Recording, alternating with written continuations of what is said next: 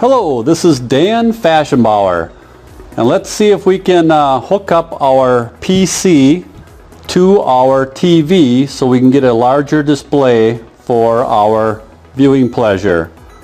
Alright, so one of the things I'm going to do, I've got this HDMI cable here that I purchased. So I'm going to plug this into the back of my television.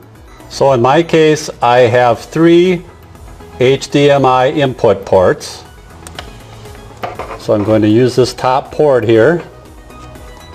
I'll just push that in. Now I have one HDMI port on the back of my laptop and I'll connect the other end of that cable into this port here.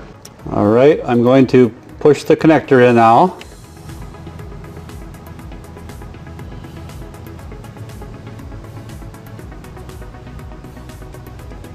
Alright, then I'm going to get my remote, click the input button up here in the right hand corner and then I'm going to scroll down and pick HDMI 3 and then my computer display gets shown on the big screen TV.